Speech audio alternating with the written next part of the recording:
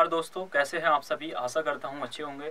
दोस्तों, जितने भी स्टूडेंट हैं जो हरियाणा के निवासी हैं और वो हरियाणा शिक्षक भर्ती का इंतज़ार कर रहे हैं तो उनके लिए बहुत बड़ी अपडेट ये निकल के आ रही है। इसको समझने का प्रयास करेंगे क्या है?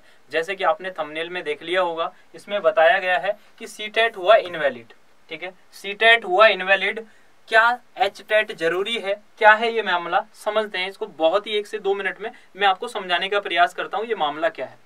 सबसे पहले समझने का प्रयास करेंगे कि आप सभी को पता है कि एच टेट अगर देखा जाए एच टेट जैसे कि प्रत्येक राज्य का, जैसे यूपी का यूपी टेट होता है, राजस्थान का आर टेट होता है तो सभी का अलग अलग अपने राज्य का क्या होता है टेट का एग्ज़ाम होता है पास करने के लिए, ठीक है? तभी आप क्या है? तभी आप टीचर का फॉर्म भर पाएँगे। लेकिन क्या है सी टेट क्या होता है कि सभी राज्य के लिए ये होता है सेंट्रल लेवल पे एग्ज़ाम कराया जाता है सी टेट तो क्या होता है, हरियाणा में क्या है? हरियाणा में जो भी शिक्षक की भर्ती आएगी, जो भी शिक्षक की भर्ती आएगी, उसमें क्या था कि पहले अगर आप एच टेट पास नहीं है, अगर आपने एच टेट को पास नहीं किया है, आपने केवल सी टेट पास किया है तो आप शिक्षक भर्ती के लिए आप क्या है, आवेदन कर सकते हैं।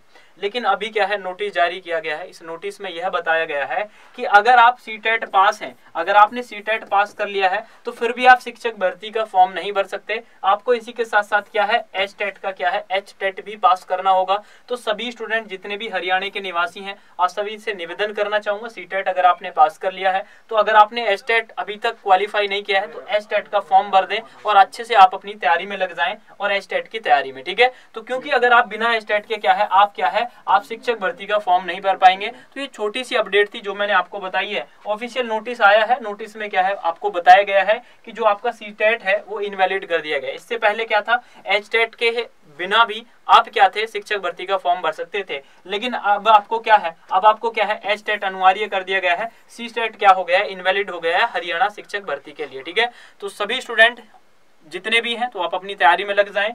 आप एस टेट की अच्छे से तैयारी करेंगे और आप अब क्या है? अपना शिक्षक भर्ती का फॉर्म भरेंगे। तो मुलाकात करते हैं नेक्स्ट वीडियो में। छोटी सी अपडेट थी। तब तक के लिए दोस्तों बाय बाय टेक केयर अपना ध्यान रखें, अच्छे से पढ़ते रहें। जय हिंद, जय भारत।